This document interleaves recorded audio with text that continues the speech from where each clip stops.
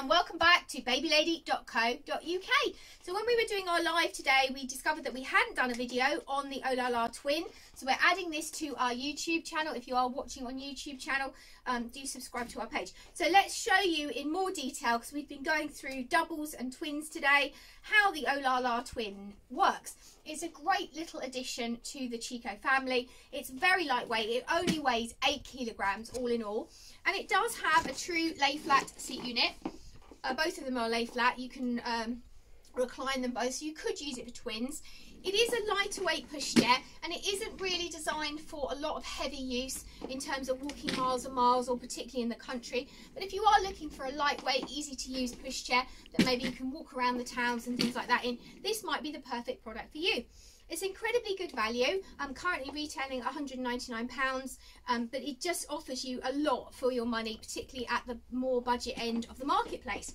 So as I said, we've got a lie flat seat unit. It has got an adjustable hood. You can make the hood bigger.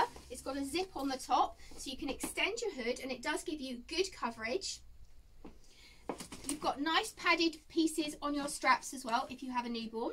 You can take your bumper bar off and it's quite clever the way these bumper bars sort of bend in the middle um, to get your baby in and out. And it does have an adjustable foot place. Actually I'm going to show you on this one. So you can actually make your foot rest longer and their feet can go down to the bottom plate. Here um, it does have swivel or lockable wheels. So you've got little locks on the front here. Just undo it. And if we turn it round to the back the linked brake is very simple to use just on and off very easy. Um, if I pop this seat unit up, you'll see how we adjust it.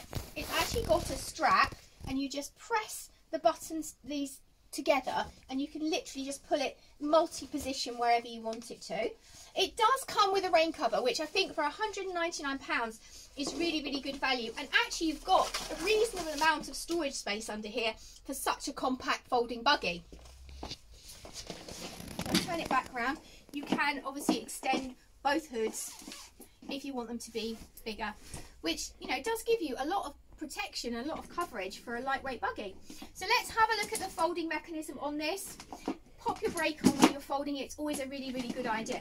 Now, I'm going to turn this around so you can see, and then I'll show you how to fold it. So your folding mechanism is using this sliding button here, and you've also got a button underneath that you need to squeeze. So you're going to slide this with your thumb and squeeze here. And when you do this, you need to lift it up so that it disengages at the front and then pop your um, handle down. And you will just be able to switch it all together. And it is incredibly compact. If you did have a small car, actually I pop it down.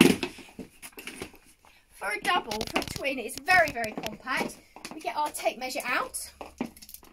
It measures the outside of the wheels, probably about 77 by um, 73.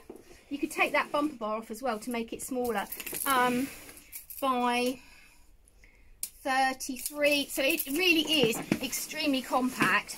Um, I reckon, and I am guessing that we'd get that in the boot of Zoe's car, which is quite a small boot. We might have to check it, um, but whether it would go I mean, it will go into most boots, particularly if you take the parcel shelf out. It is actually very compact.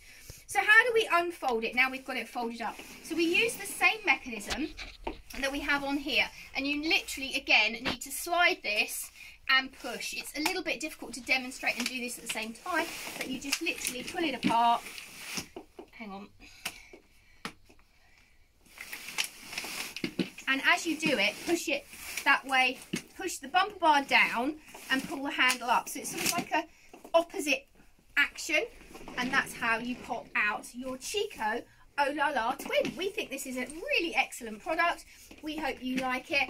Um, if you are watching on our YouTube channel, do please subscribe to our page. And if you click the button at the top, we'll be able to send you all the latest videos as we record them. Have a great day.